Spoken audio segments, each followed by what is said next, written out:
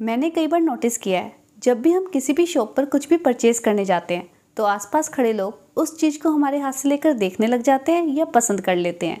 वैसे तो वो चीज़ फैशनेबल बन जाती है, लेकिन इन अदर वर्ड्स जब आप वही करते हैं जो हर कोई करता है तो इसे शुद्ध हिंदी में भेड़ चाल कहा जाता है, और इसके लिए आप फ्रेज यूज़ करेंगे jump on the bandwagon jump on the bandwagon it means to do what everyone else is doing for example आपने कई बार नोटिस किया होगा स्कूल में कुछ बच्चे रिज़ल्ट के बाद वही फ़ील्ड सेलेक्ट करते हैं जो उनके फ्रेंड सेलेक्ट करते हैं। लेकिन ऐसा नहीं होना चाहिए। अपना एप्टीट्यूड और इंटेलेक्ट यूज़ करते हुए आपको वही फ़ील्ड सेलेक्ट करना चाहिए जिसमें आपका इंटरेस्ट हो। After your school result choose the field that interest you just don't jump on the bandwagon with your friends example number second मैं तो ऐसी बिल्कुल नहीं हूँ। मैं वही करती हूँ जो मैं पसंद करती हूँ।